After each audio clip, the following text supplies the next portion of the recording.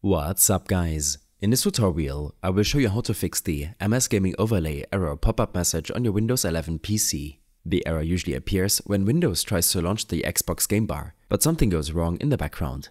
Start by searching for Game Bar settings in your Start menu and click on it. Once the settings window opens, find the option that says Allow your computer to open Game Bar and turn it off.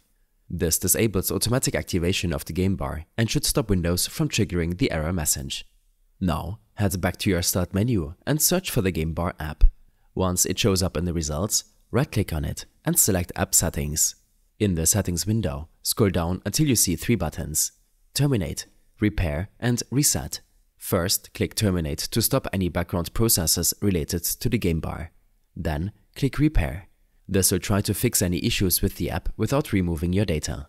Once that's done, click Reset and confirm it by clicking Reset again. This will restore the game bar to its original settings and clear any corrupt data that might be causing the pop-up. To make sure that there are no missing or corrupted system files contributing to the problem, open up your Start menu again and search for CMD.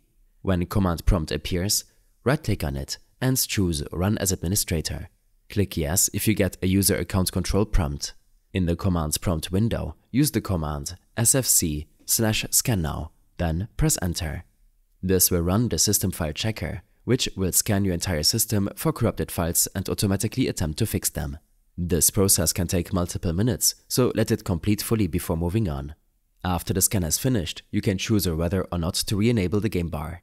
If you want to turn it back on, search for game bar settings again, open the settings window and turn the toggle for Allow your computer to open game bar on.